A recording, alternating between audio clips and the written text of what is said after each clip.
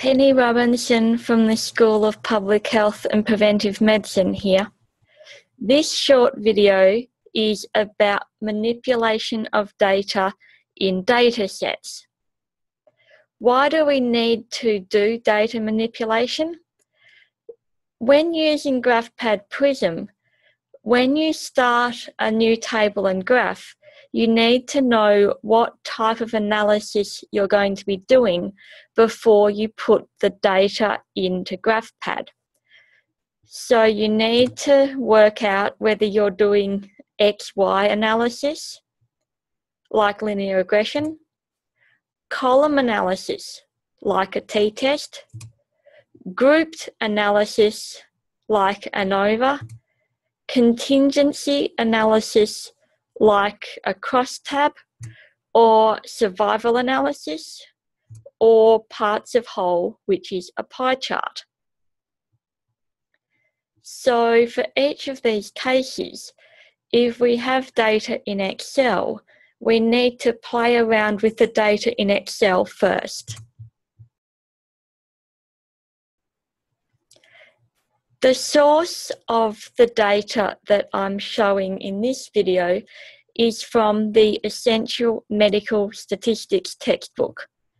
If you go to blackwellpublishing.com forward slash essential med stats and then click on datasets, you can download the Peru lung dataset. I downloaded the Excel one. So here's what the Peru lung dataset looks like. There's ID number, which is the identification number, FEV1, which is the forced expiratory volume in one second and is a measure of lung function. There's age in years, there's height in centimetres, there's sex, where zero is female and one is male, and then there's respiratory symptoms where zero is no and one is yes. One thing that I wonder is the FEV1 different between people, between children who don't have and do have respiratory symptoms? So, to do this, I need to copy the data into a new section and I need FEV and respiratory symptoms next to each other. I'm going to delete the other ones and I'm also going to delete ID. So now in column H, I have FEV1 and in column I, I have respiratory symptoms. But for using GraphPad, we need one column to be the FEV1 for people without respiratory symptoms, and we need a second column for the FEV1 for people who do have respiratory symptoms. So, what I need to do is I need to select the data I need to sort it.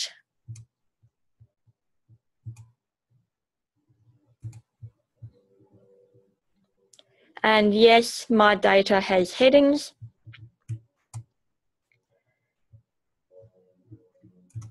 So now we've got FEV1 no symptoms and FEV1 yes symptoms. And what I need to do is I need to scroll down the data set and find all of the FEV ones where there's a zero beside it. Okay, so that's all of the zeros. I'm going to make them all red before I copy and paste them in. And now I'm going to go down to the bottom of the data set and go up until I've got all of the FEV1s for people who do have respiratory symptoms. So now I've pasted that information in and you can see that there's more people who don't have respiratory symptoms than do have respiratory symptoms.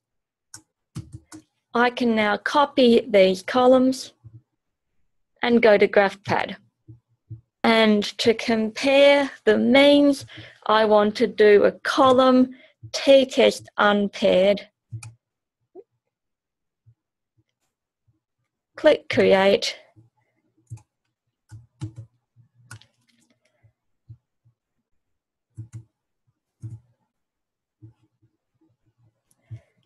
And now I can analyze this data.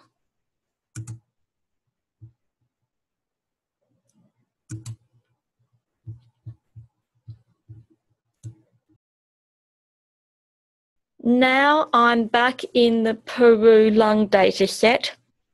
And the second thing I want to do is I want to look at how many males and females and how many people have respiratory symptoms or not.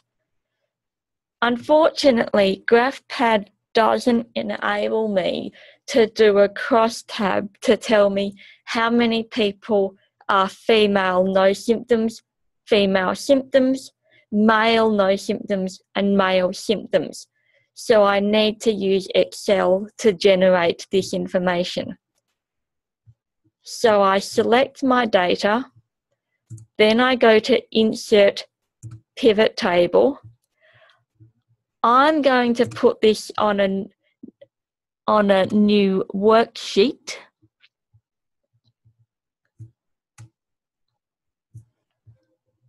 So I need to drag ID to the sum of values, and that's the count of values.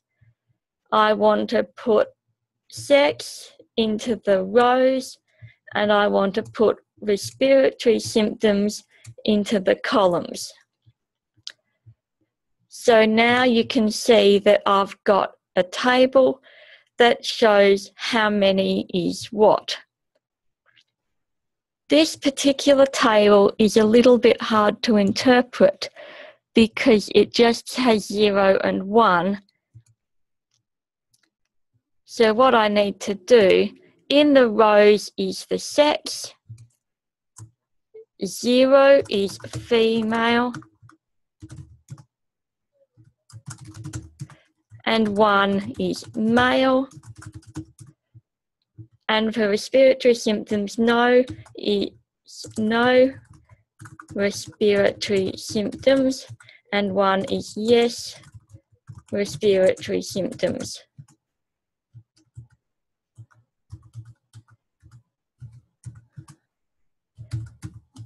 And now you can see that I'm just putting the numbers from the previous table into this other table. And now I'm going to copy the inside cells and go to GraphPad again. And I want to create a new data and table. This time I'm doing contingency and I paste the data in, analyze chi-squared.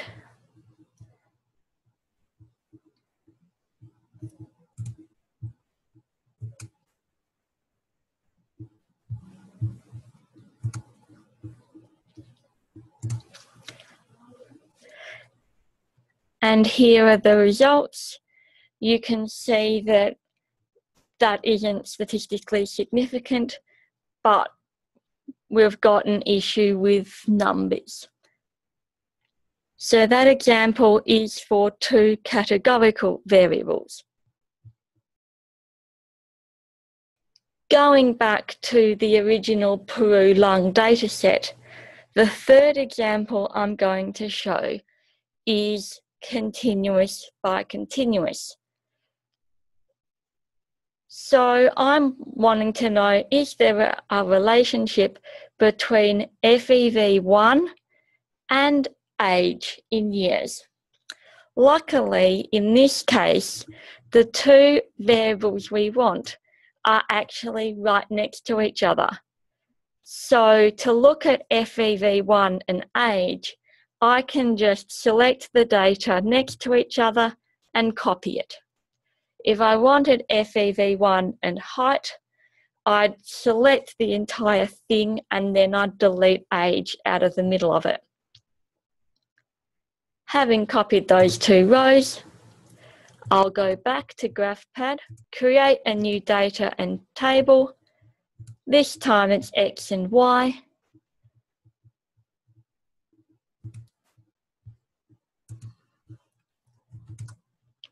And I can paste in the data, but it's actually the wrong way round.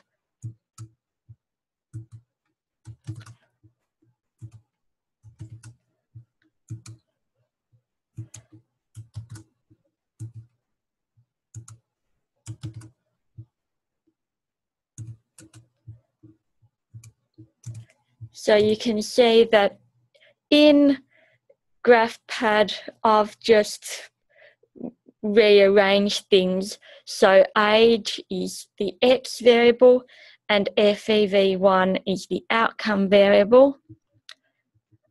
And I can look at the graph, which is a scatter plot, and see what the relationship is.